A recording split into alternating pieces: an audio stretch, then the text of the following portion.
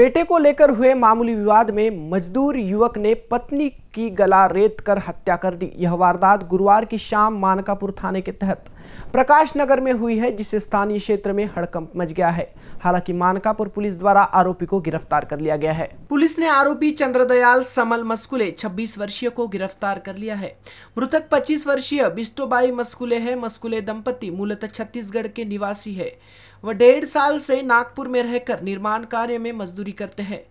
उन्हें तीन साल का बेटा है। प्रकाश नगर में डुप्लेक्स का निर्माण कार्य चल रहा है। यहाँ मस्कुले दंपत्ति और दूसरे मजदूर रहते हैं। शाम पाँच बजे चंद्रदयाल का बेटा भोजन नहीं मिलने पर रोने लगा। बेटे को रोता बिलकता देखकर चंद्रदयाल आग बबूला हो गया। वह पत्नी से विवाद करने लगा। पत्नी को समझाने पर भी वह नहीं समझी, जिसके कारण उसने सब्ज़ी काटने के चाकू से गले और पेट पर वार कर दिए। बिष्टोबाई जान बचाने के लिए डुप्लेक्स से दौड़कर बाहर आई।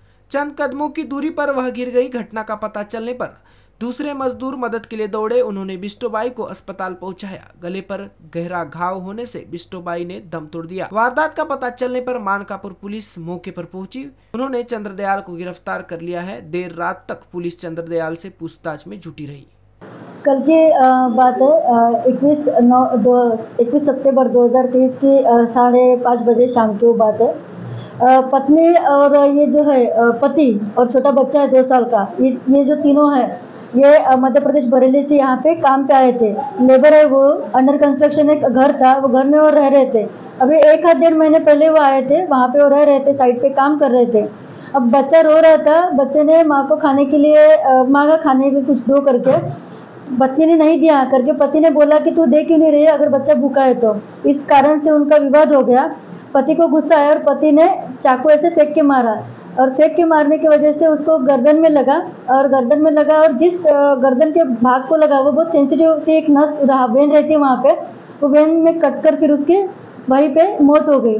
ऐसा है और फिर एलेक्सिस हॉस्पिटल जहाँ पे लेके गए, वहाँ पे उसको ब्रॉड डेट घोषित किया। उस प्रकार से हमने उनकी तकरार ली है, आरोपी को ताबे में लिया है। जिस चाकू से मारा, वो चाकू भी हमने बरामद कर लिया है। और आगे की हमारी कार्रवाई चल रही है इसकी। घटना ये जो है, ये प्रकाश नगर है हमारे यहाँ पे बमलेश्वर सोसाइटी में। अंडर कंस्ट्रक्शन एक घर था।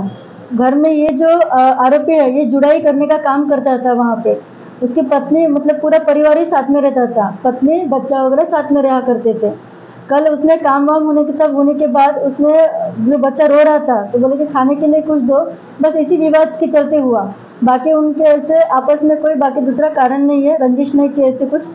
उसने ऐसे फेंक के मारा और वो उसको लग गया ऐसे है उसको बच्चा अभी डेढ़ दो साल का है वो और अभी जो उसके मामा है, उसके ताबे में हमने उनको दे दिया है बच्चे को। मृतक जो है महिला, उसको बिस्तुबाई चंद्रदयाल मस्कुले है उम्र जो है उसकी छब्बीस साल है और रहना प्रकाश नगर।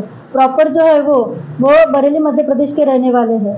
और आरोपी का जो नाम है वो चंद्रदयाल समल मस्कुल्ले उसकी भी उम्र है, लगभग 28 साल है उसकी उम्र, और वो भी सिवनी मतलब मध्य प्रदेश में रहने वाला है। नहीं, फ़िलहाल आरोपी का कोई क्रिमिनल रिकॉर्ड नहीं कुछ नहीं है। इनबीसी न्यूज़ के लिए अखिलेश भारद्वाज के साथ मनीष टेमरी की रिपोर्ट।